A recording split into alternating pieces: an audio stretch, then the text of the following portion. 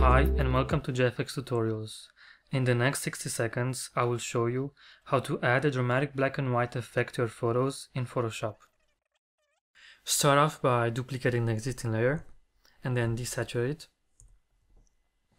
Now we're going to enhance the shadows and the highlights in the image. Duplicate the, the layer again. Set the blending mode to vivid light and then invert the layer. Go to filter, blur, surface blur.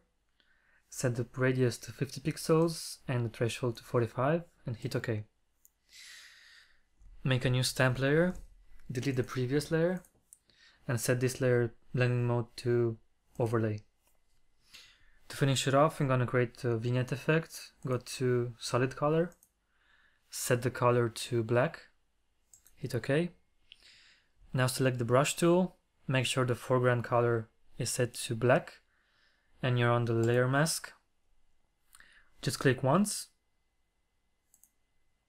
and then using the feather tool in the properties bar, Play with it until you get the result you want. I really hope you're satisfied with the results of this tutorial. Make sure to subscribe to my channel and stay tuned for fresh new tutorials. Until next time, bye bye.